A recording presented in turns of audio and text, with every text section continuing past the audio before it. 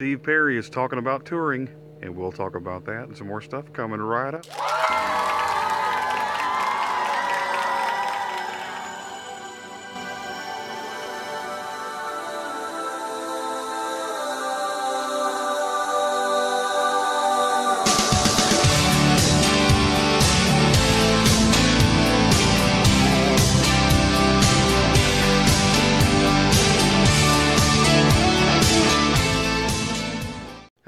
Everybody. It's Gary Stuckey. Welcome back to another episode where we're talking about Steve Perry and Journey and all that good stuff. And Steve Perry was on the radio for an interview this morning on Fun 101.7 in Fort Wayne, Indiana, uh, via the telephone or cell phone, whatever you call it. Uh, anyway, he was talking about different things. He was pretty funny this morning, uh, talking about that his mom uh, was a dancer, and he said he can't dance, but he can move. He said that's funny stuff. Anyway, uh, he was mentioning uh, touring, and uh, they asked him about that, and uh, he was talking about you know after the album is out, then they'll start focusing on that. You know, I think Steve is really wanting to focus on the music. He don't want to get ahead of himself. You know, and a lot of people are, and I know I'm guilty too. Uh, of, of speculating, but I'm not pressuring Steve, you know, and saying if if I was blessed to get an interview, I would not ask him all these questions that you know don't really pertain to his solo stuff, you know. But he's uh, mentioning the uh, tour, um, and talks like it will be after the album is released. You know, once the album is released, I think things are going to really start taking off. Of course, that album Traces due out October 5th, and then the interview on CBS. I think that's really going to start everything, you know, into motion. Is that interview, you know, and then of course the album release. Um, they're going to start focusing on things. I'm sure they're working on the music right now. Uh, but I'm thinking uh, about the tour, and I've said before, it'd be cool if Lou Gramm, Steve Perry, and Lou Gramm, that would be cool, uh, or some other people uh, similar to that.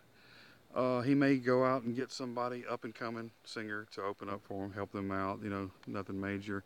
Probably smaller venues. I'm thinking. I'm thinking probably like uh, his last solo tour uh, for the Love of Strange Medicine. Remember that when he did some shows. I think it's going to be something similar to that. But I think they're going to weigh out everything and see how popular this album is.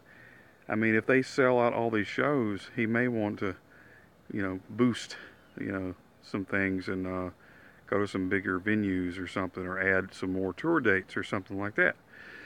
But what I was thinking though is, see, next year in 2019, it will be the 35th anniversary of Steve's first solo album, Street Talk, and the 25th anniversary of his second solo album, For the Love of Strange Medicine.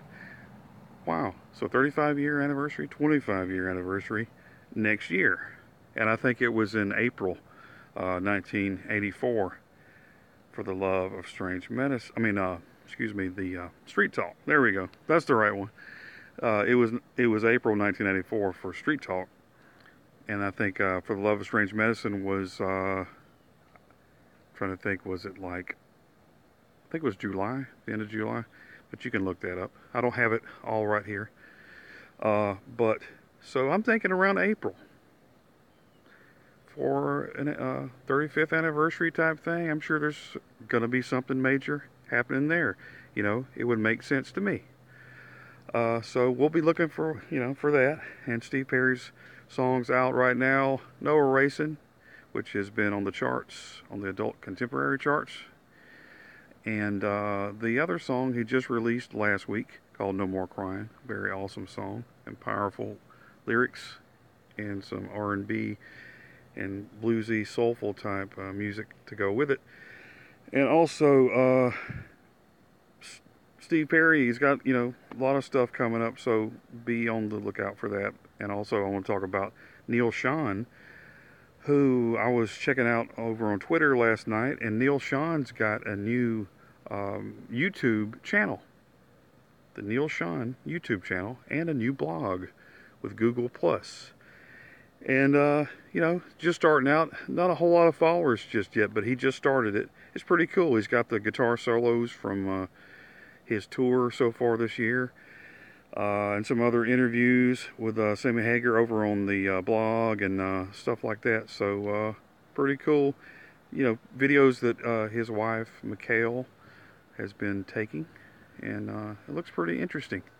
A lot of cool stuff. A lot of interviews over on his blog that he's been doing, and along with the Steve Perry. uh, where he talks about Steve Perry and some of the interviews, stuff like that, you know, and pretty interesting. So go check that out.